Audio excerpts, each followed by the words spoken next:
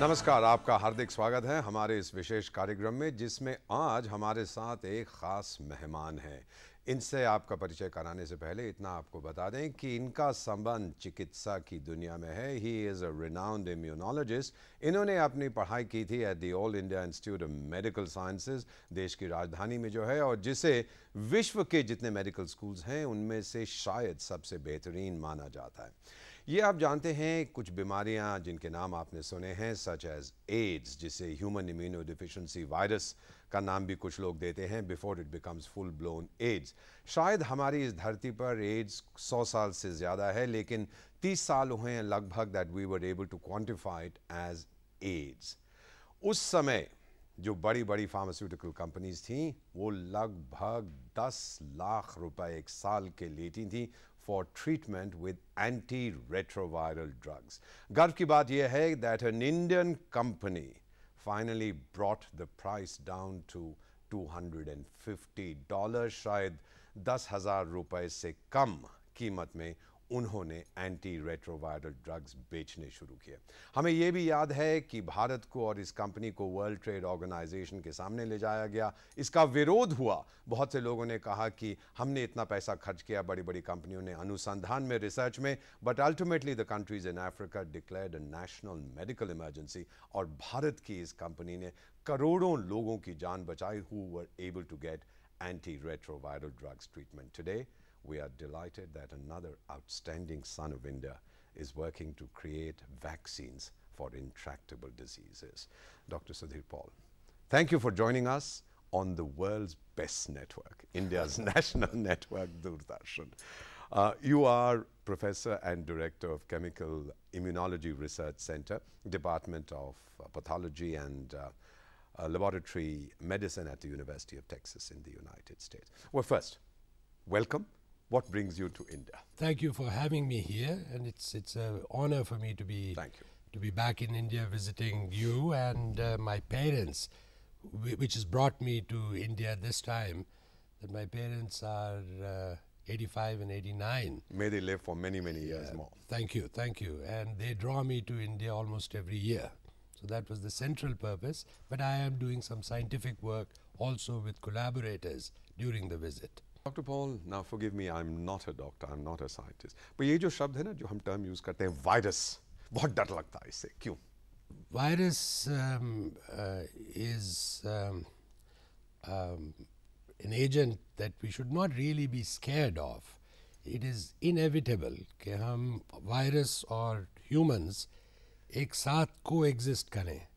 कुछ viruses uh, बहुत ज़्यादा विरुलेंट हो जाते हैं and they start killing But if you look at the history of viruses, they are self-contained. Our immune system counters viruses and uh, the virulence of viruses decreases. In fact, there are data that this is exactly what is happening to HIV, that its virulence is decreasing and HIV and humans are learning to sort of uh, coexist. Now, having said that, this is not to minimize the, the, the problem. The problem is enormous. There are in India 250,000 deaths per year uh, because of because the those antiretroviral drugs जो आपने mention किया they are only partially available. Yeah. So we, we do need to deal with the virus in an aggressive way. इसका मतलब है when you से aggressive वे कि vaccine बनाई जाए ताकि वी कैन बी प्रोटेक्टेड बिल्कुल ये जो art anti retrovirus therapy it is still quite expensive ढाई सौ डॉलर तीन सौ डॉलर और उसके बाद जब रेजिस्टेंस डेवलप हो जाती है पहले लेयर पहला फ़र्स्ट लाइन आर्ट पे तो we really don't have the money to go with second line and third line and the virus becomes resistant so we need a vaccine very urgently particularly for the emerging countries like India. Doctor Paul जब हम लोग school में थे तो एक uh, अंग्रेज़ी की मिसाल हमें दिया करते थे that prevention is better than cure लेकिन जो बड़ी बड़ी फार्मास्यूटिकल कंपनीज हैं they believe that cure is more profitable than prevention do you agree Uh, yes, but this is a fundamental conflict between capitalism and uh, and society. That uh, money will drive the big companies, and the alternative, uh, the, the alternative was communism, but that- that is gone now. So we can have a a sort of a mixed. so there, there are uh, philosophers of science who say, yes, there is a selfish gene that humans have, but there is also an altruistic gene. And I think governments in many parts of the world are really recognizing that the two have to be, they have to coexist. We need to give motivation uh, to the companies and then we need to impose order. And it is a national emergency, as you said, to deal with these matters. Um, I can see that the altruistic gene in Dr. Sudhir Paul is much more uh, prominent than the other one, which is selfish. Dr. Paul, why did you choose immunology as a career? So, by training, I'm a biochemist, uh, but uh, we moved into immunology because uh, the immune cells, our cells that defend against uh, microbes, viruses, bacteria. Remember that while we defend against these microbes, viruses, bacteria, we also must maintain self tolerance, or else the immune system, when it turns against the self, then we get autoimmune disease. So the immune system is essential for our survival. And, and we saw ways in which we could make contributions. We made some discoveries pertinent to these matters that I'm discussing, and we felt that this is where we should uh, find out what exactly is going on. So, what drives me is really curiosity in the first instance. That is why I became an immunologist. Now, Dr. Sudhir Paul was born in Kenya in East Africa, migrated to India with his parents, and um, after finishing school, joined perhaps the world's most prestigious institute of medical sciences, the All India Institute. But there people go and, and look for, if I may use the word, more glamorous careers like surgery, neurosurgery, neurology, cardiology. Why immunology? When I was just out of um, my pre-university in Aurangabad, I uh, was selected as a science talent scholar by the NCERT, and uh, they gave me money. They, they essentially subsidized my life for, for about 10 years, I believe. So I got, so the, the fact that I was selected for this in itself was sort of vindication. It, was it, it reinforced my desire to become a scientist. And uh, so this is really a, I am a product of Indian largesse, Indian uh, desire to have uh, homegrown scientists and and uh, people who excel and can be with can work at the best of institutions. अब जो आपने कहा India's desire to have homegrown indigenous scientists who can compete with the best in the world, which is what you are doing. If I may say so, you are better than the best. Um, why did you leave India? Th that is thorny for me. I, there, there have been conflicts in my own mind. Why did I leave?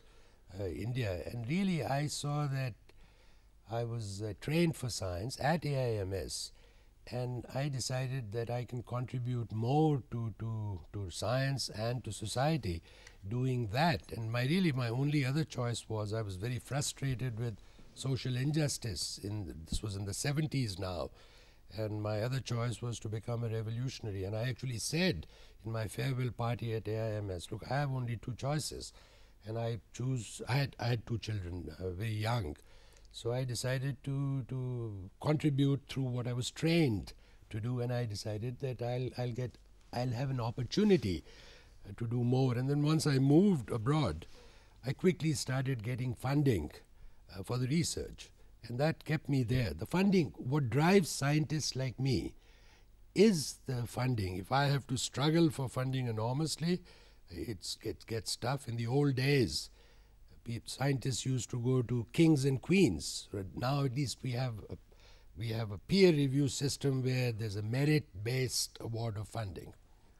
Um, Dr. Paul, a moment ago you mentioned that you might have become a revolutionary, but you are doing revolutionary stuff in medicine. So we are delighted Thank that you. have combined the Thank two you. streaks in you. Now, intractable diseases, वो बीमारियां जिनके लिए आसानी से हम लोग cure नहीं ढूंढ सकते इलाज नहीं ढूंढ सकते Why does that interest you? I was following my nose, and it happened serendipitously. I sort of stumbled upon it, and then, yes, we were prepared to see when we got something new. Uh, we recognized that this is important. The technology that we have developed is outside the scope of conventional uh, immunology and uh, conventional medical approaches. So we think that uh, we can tackle uh, intractable diseases like HIV, Alzheimer disease, old age diseases where the heart uh, has amyloid in it. Uh, we think that this is a new generation of vaccines and what we call catalytic antibodies or catabodies that can do things that other types of medicines cannot. So that's what took me in the direction. Now, in the course of your work, your research, your study, do you see new viruses emerging? And if you do, what creates a virus? Yeah, new viruses are emerging uh, constantly. Humans and viruses, they really have co-evolved over over 500 million years that the immune system has been around. Uh, the immune system would not, uh, without the immune system, we wouldn't have been around. So we must defend ourselves against these viruses that are constantly emerging uh, and bacteria that are constantly emerging. Um, what makes them emerge is that they mutate. They want to survive just as you or I want to survive. There is a force in nature that uh, survival, as Darwin said, survival of the, fittest. the fittest. So they are becoming fitter and fitter, and we must keep up with them. Let me press this point a little bit. That gentleman or that lady up there who determines our lives, does he or she have a department of uh, virus uh, production? Um, I am uh, sort of tempted to say uh, that uh, regardless of whether you are an atheist or uh, you believe in God and think that there's predetermination and department of genetics, department of virology, regardless of that, the facts are that in the here and now, we must uh, deal with the way things happen. Very much what you are asking me. How did viruses come about? That's what scientists like to find out. And then we develop medicines. Again, science is a problem solving enterprise. Different scientists have different philosophies. Some are deeply religious, others are uh, randomists, if you will. They believe in random chance. We happen to be at the right place at the right time or the wrong place at the wrong time. So it depends. Uh, so, so there is that conflict which will go on in the minds of lay people and scientists. You are working on finding vaccines to prevent pretty serious, severe diseases. We'll talk about that in a moment. Uh, what about uh, dealing with old age? It doesn't affect me, I'm still young, but I'm just wondering if uh, you have a vaccine against old age? So this one is not a vaccine. A vaccine would be probably dangerous. Vaccines are usually given when we are babies so that we can prevent, as you said, it's better than a cure. Um, this one is a catalytic antibody. What we discovered um, is that uh, there are antibodies that can recognize a target. These are molecule targets that cause aging.